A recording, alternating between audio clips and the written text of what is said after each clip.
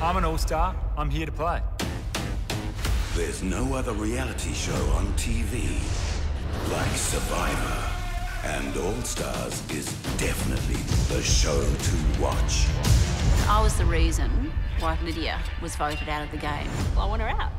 I'm going in this time with vengeance. You can't trust anyone in this game. Oh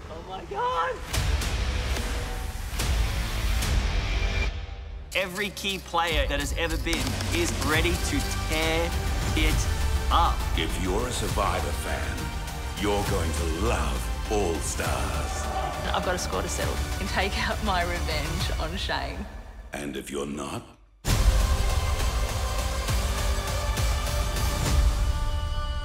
Don't with Shane Gould. tune in to Survivor All Stars on 10.